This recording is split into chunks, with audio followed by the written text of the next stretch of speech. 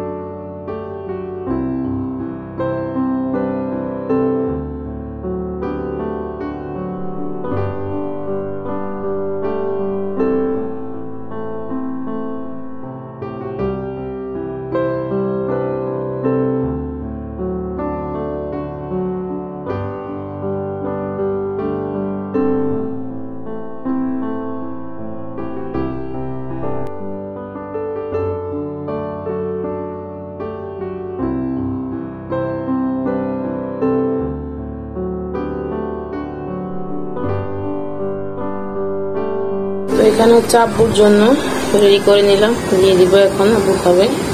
তারপরে আমরা খাব। আপুর আসতেছে, আপুদের সাথে একসাথে খাব।